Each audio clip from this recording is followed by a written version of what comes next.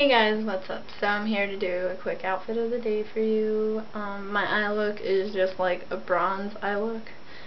And then onto my outfit. So I like outfits that are girly but not too girly. So I have on my Marilyn Monroe t-shirt, as you can see. Or one of my Marilyn Monroe t-shirts, I should say. I absolutely adore Marilyn Monroe. And then my red DC hoodie.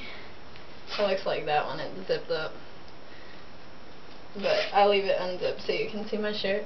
And then I have this skirt that's all ruffled. Hold on. Let me lower the camera so you can see better. Okay. So, skirt that's ruffled. And then just black leggings with my Ed Hardy chucks. I'll show you what the chucks look like. They're by Ed Hardy. I love Ed Hardy. and then my hair is just straight with this little silver bow to clip the one side back.